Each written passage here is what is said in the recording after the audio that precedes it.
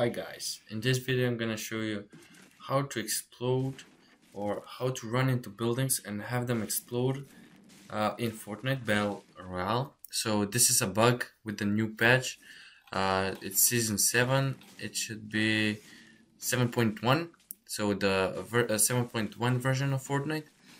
And basically people have been reporting that uh, there is a bug where you uh, either jump uh, after using a plane you jump from it and or uh, either you fall from a zip line or after using a plane and smashing into other people builds. And basically what you do that uh, after that uh, when you walk to a building or when you step on some material it basically explodes. And this is a pretty powered bug. So I'm not sure how to replicate it. I'm not sure exactly but you can try using a plane, smashing it into other people buildings, etc., or jumping it, uh, jumping from the plane, or falling off the zip line and surviving, of course, etc., and see if that works for you.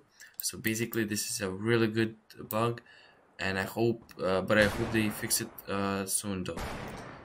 Thanks for watching. Please subscribe, like, and comment.